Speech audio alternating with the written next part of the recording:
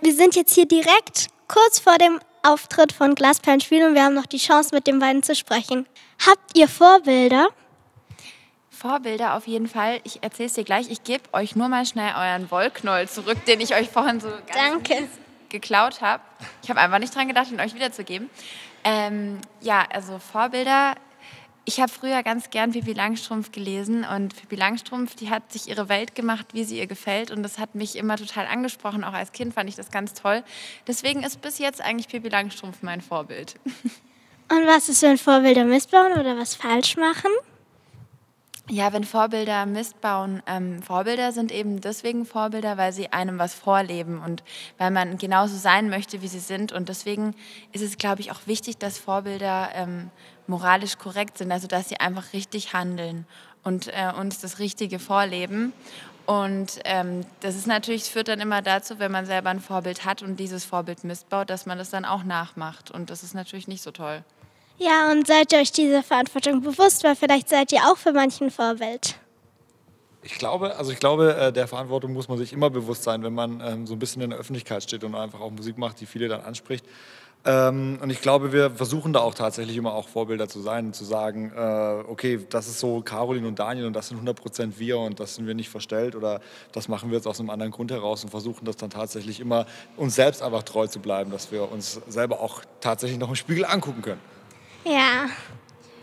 Ähm, was würdet ihr Kindern raten, die zu Castingshows gehen? Habt ihr irgendwelche besonderen Tipps?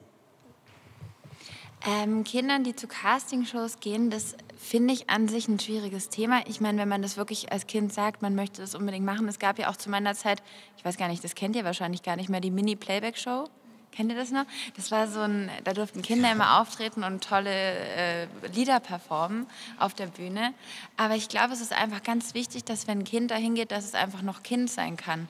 Dass es einfach ganz normal in die Schule geht, ganz normal seine Freunde hat, draußen spielt und alles Mögliche macht, was ein Kind so macht. Und das ist, glaube ich, ganz wichtig, dass man dem Kind dadurch nicht die Kindheit raubt. Und wenn man da wirklich hingehen will, muss man das, glaube ich, einfach als riesengroßen Spaß sehen. Also einfach zu sagen, hey, ich bin einfach dabei und das ist, glaube ich, das Coole dabei. Und egal, ob das jetzt was wird oder nicht, ich habe meinen Spaß mitgenommen und das ist, glaube ich, das Wichtigste.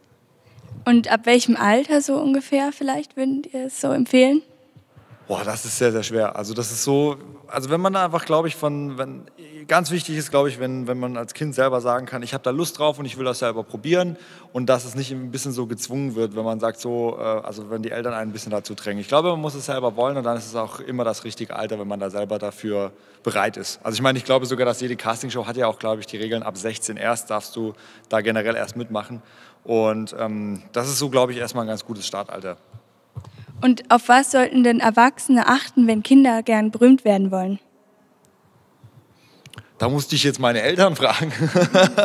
ich habe ihnen schon immer gesagt, dass ich irgendwie auf der Bühne stehen will. Und äh, die haben das auf jeden Fall immer unterstützt. Also sie haben mir nie gesagt, ja, das ist ein blöder Traum, äh, schminkt dir den ab. Sie haben immer gesagt, so, hey, wenn du das machen willst, dann versuchen wir dich, soweit es geht, natürlich zu unterstützen und auch auch zu sagen, okay, aber erst muss man auf die Schule konzentrieren, das musst du auf jeden Fall fertig machen, ansonsten äh, kannst du keine Musik machen. Und ich glaube, das war der richtige Weg. Also ich glaube, es ist immer ganz wichtig, eine, eine solide Ausbildung zu haben, gerade auch äh, sich das bewusst zu machen und danach dann einfach mal auch aus, auszuprobieren, ist das das Richtige für mich.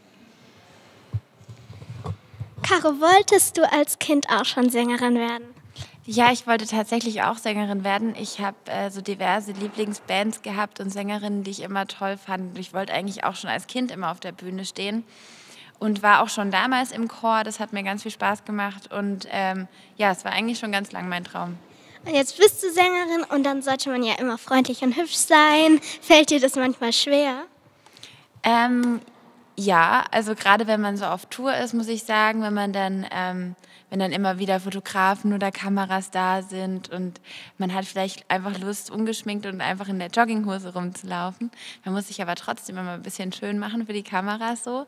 Ähm, man hat dann natürlich nicht immer Lust drauf. Oder auch abends, wenn man auf die Bühne muss und man denkt sich, ach, heute würde ich einfach mal gern irgendwie ein Buch lesen am Abend oder mich vor den Fernseher setzen, einfach nur in Jogginghose. Ähm, das geht dann natürlich nicht, aber es gehört halt einfach auch zu dem Beruf dazu. Ja, und wenn jetzt so ein Konzert war und es dann vorbei ist, kein Applaus mehr, alles still, ist man dann von einer Sekunde auf die andere wieder ganz normal und so? Ähm, ja, es ist schon ein komisches Gefühl, wenn man gerade auf der Bühne war und dann runterkommt und dann ist alles eher wirklich auch leise. Das kommt einem so ruhig auf einmal vor und dann kommt man natürlich schon mal runter und ähm, ruht sich erstmal so ein bisschen aus und es ist, ist eigentlich, natürlich ist eigentlich, ist eigentlich noch sehr aufgeregt und aufgedreht Ja. eigentlich. Das dauert immer so ein paar Stunden, auch im, wenn man im Hotel ist, bis man dann wirklich runterkommt und äh, dann auch mal schlafen kann, sozusagen. Aber ja, es macht auch eine Menge Spaß, denke ich, einfach auf der Bühne zu stehen. Und ähm, wir sind froh, dass wir das so machen können, wie wir das machen können. Und glaubt ihr, so ein Leben als Star würde später auch mal mit Kindern gehen? Ähm, man stellt ja, aber so was vor. ja, das ist eigentlich eine gute Frage. Das ist wirklich eine gute Frage. Ähm, es machen ja viele so.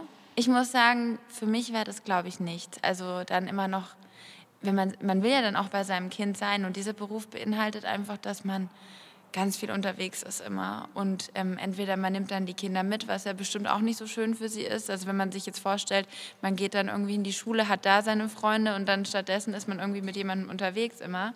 Das geht ja auch nicht. Und deswegen könnte ich mir das eigentlich für mich jetzt so und wenn ich mal Kinder haben sollte, auch nicht vorstellen. Ja. Ähm, ihr schreibt ja eure Songs selbst. Haben euch auch schon Kinder dazu inspiriert? Wir haben tatsächlich mal, als wir äh, angefangen haben mit Hänsel und Gretel äh, quasi zusammenzuarbeiten, hat uns dieses Thema inspiriert, um einen Song zu schreiben tatsächlich. Und da haben wir den Song geschrieben, Wenn sie träumt.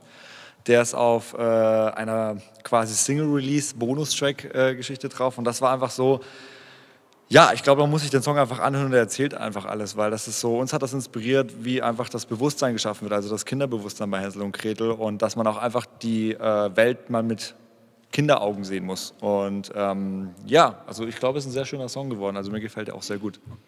Und was ist Kinderbewusstsein für dich? Wie, wie schon gesagt, ist Kinderbewusstsein eigentlich genau das, dass man einfach die Welt durch die Augen von Kindern sieht. Also dass man einfach sagt, ein Kind muss Kind sein können, ein Kind muss auch äh, die Kindheit haben können. Und äh, das ist, glaube ich, ganz, ganz wichtig. Und das muss man sich auch immer wieder bewusst machen, dass tatsächlich äh, ein Kind einfach die Welt ganz anders sieht wie ein Erwachsener. Warum seid ihr Botschafter für Hänsel und Gretel geworden? Ähm, weil ich glaube, oder für mich ist es auch so und für die, glaube ich, auch ganz viele Menschen, dass Kinder einfach was ganz, ganz Wichtiges sind, weil das die Zukunft ist. Und ähm, deswegen haben wir wurden gefragt, ob wir uns dafür einsetzen wollen. Wir haben da auch gar nicht gezögert. Wir wollten auf jeden Fall mitmachen und wir haben auch diverse Aktionen mitgemacht und haben unter anderem, weil wir an unserem Merchstand, also da, wo unsere T-Shirts verkauft werden, und so Drumsticks, da haben wir die Drumsticks äh, immer, wenn sie verkauft wurden, quasi einen Euro an die ähm, Hänsel und Gretel Stiftung gespendet. Und wenn ich das schon anspreche, gibt es jetzt hier auch noch einen, äh, einen Scheck für Hänsel und Gretel. Und den könnt ihr dann gleich mitnehmen. Genau. Danke. Danke.